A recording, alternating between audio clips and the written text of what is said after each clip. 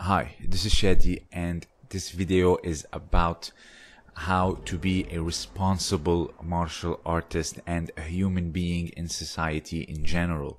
Now, Jigoro Kano created the Kodokan school in order for us to take care of education both physically mentally or intellectually and morally. Morally is a key in order for us to understand why we train and why and how we should display how we train in society and on the mats. Now, courtesy, respect, and also standing up for the weak against everything that's wrong is why we train these arts in general. This is not to incite or celebrate violence whatsoever this video is about to show some of the real life applications of judo and how people uh, avoided stuff like physical trauma, uh, mental trauma, uh, losing probably their lives, their livelihood, thanks to judo. And this is not, like I said, to incite or celebrate violence. So I adjusted the footage of yesterday to make it far more family friendly. But uh, before you go and flag my video uh, out of maliciousness, please watch the video till the end. Uh, this is how to be a responsible martial artist and how sometimes the law is also important because people say uh, there are no rules in a street fight.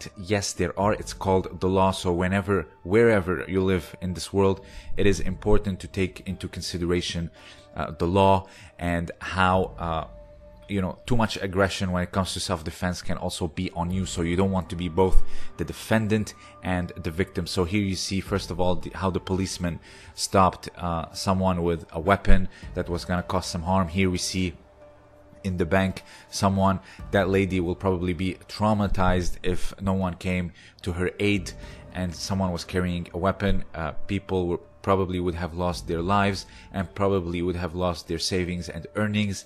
Here he was holding hostage so no one can come in and you know take care of it unless here the judoka came in with a swift and brilliant ippon seoinage and saved the day. This is a great example of how uh, a responsible martial artist and human being should act is for the good and the betterment of society. This is not uh, to celebrate aggression and to show who's the bigger man or whose school is better, uh, but rather this is to create a better society. That's why Kano sensei reiterated and talked a lot about the three types of education that I discussed the physical, the moral, and the intellectual because without those we will just have people with just a lot of technique and aggression and uh, nowhere to pour it and it will create a lot of problems and the Rufino dos Santos is a great example of that. So education,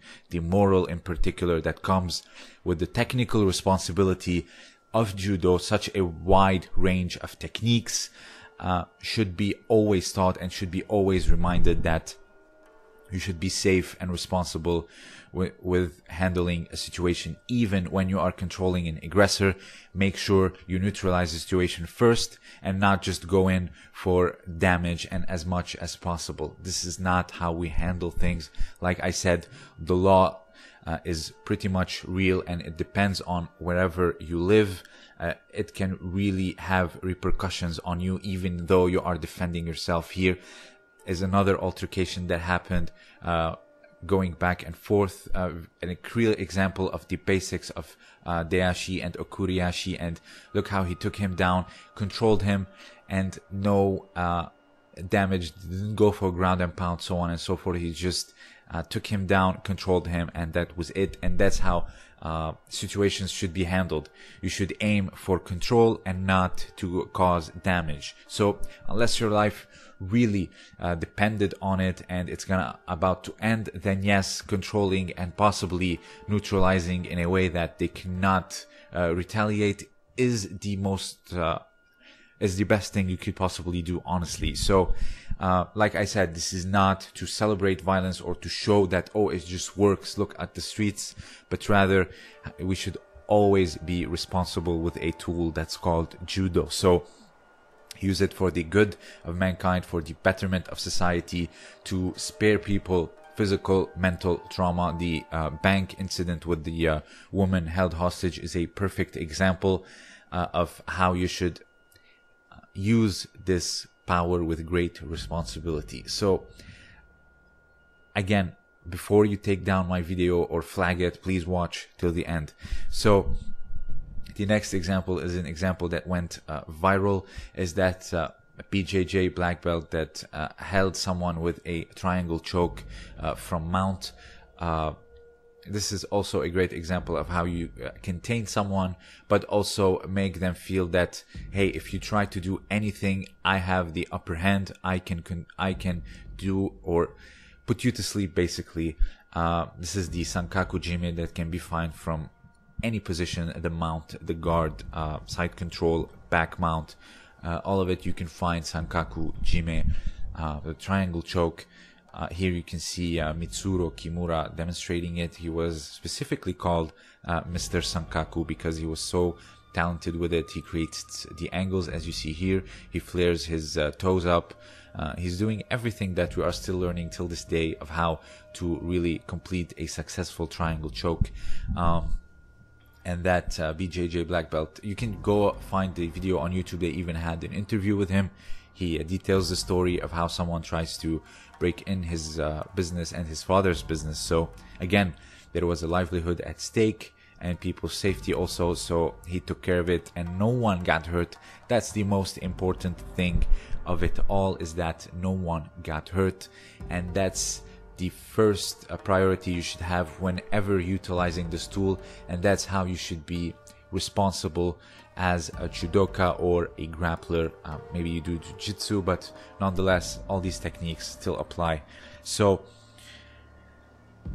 again, uh, there are rules in a street fight. It's called the law, and also you should be responsible. Maybe, like uh, for example, that's a brilliant story when uh, Jean-Jacques Machado was on the JRE. He said that he was coming out of a pharmacy, if I'm not mistaken, and someone really was aggressive with him, and uh, they uh, wanted to get engaged in a fight with him, and uh, he he says that calm down, I don't want to fight you, etc. But after some time, that same person who was very aggressive and uh, wanted to cause trouble, troubles uh, ended up being his student, and he was very thankful and says, "Hey, uh, thank you for you know sparing me, basically." And uh, that's the other thing is that you don't know who's attacking you. Maybe they have a need, they they can't feed themselves, so on and so forth. So.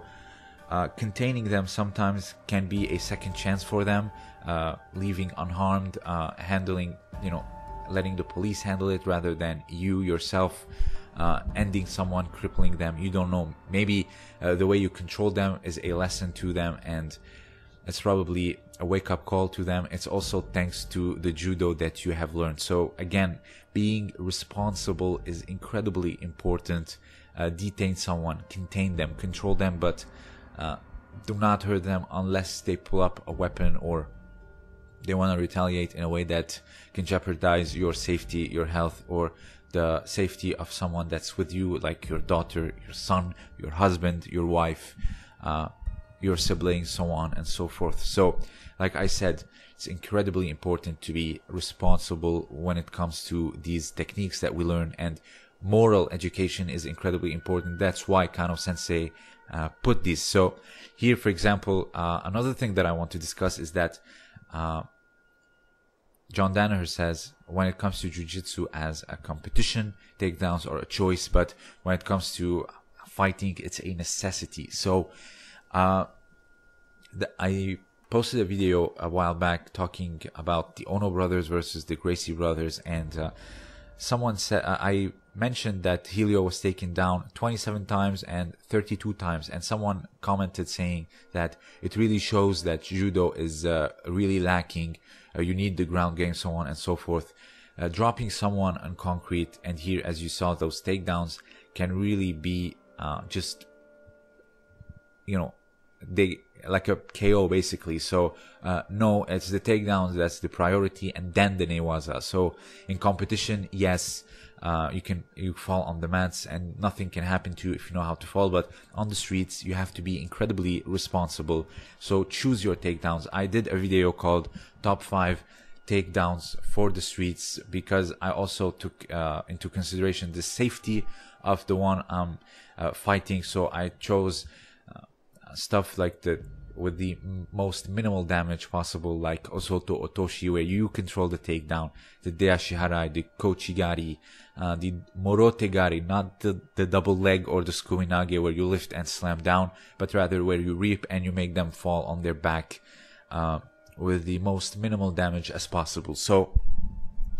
please use this uh, great gift responsibly uh, for the betterment of society and not just to cause any uh, trouble. Uh, please stay safe, stay responsible. It's very important for you and for your siblings. And like I said, it can be a second chance or a wake up call for that someone that you manage to control. So please, if you have anything else to add, uh, let me know down below. And also, please consider supporting me on Patreon. Uh, if you have anything else to add, again, let me know down below. This was Chadi, and thank you for listening.